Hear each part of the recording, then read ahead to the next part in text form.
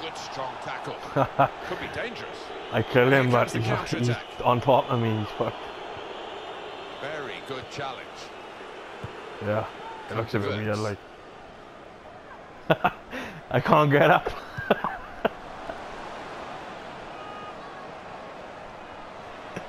There's the ball in. And it's the goalkeeper's ball, quite clearly. A wasted cross. That's neatly done. Good challenge by the defender. Very good control there. Yeah, I just got back up now. Fuck.